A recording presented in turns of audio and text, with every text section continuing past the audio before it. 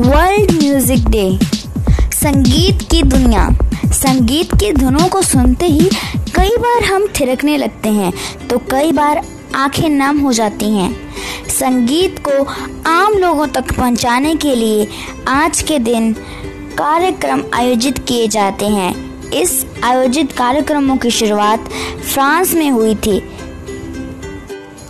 America के मशहूर संगीतकार कोहिन द्वारा फ्रांस में संगीत आधारित एक जलसे का आयोजन 1976 में किया गया था।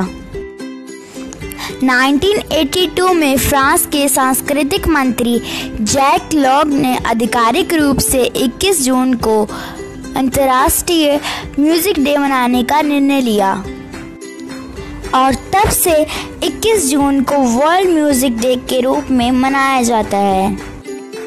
और यही नहीं 120 से भी ज़्यादा देश इस दिन को मिलकर बनाते हैं। तो हमें भी वर्ल्ड म्यूज़िक डे को मिलकर मनाना चाहिए।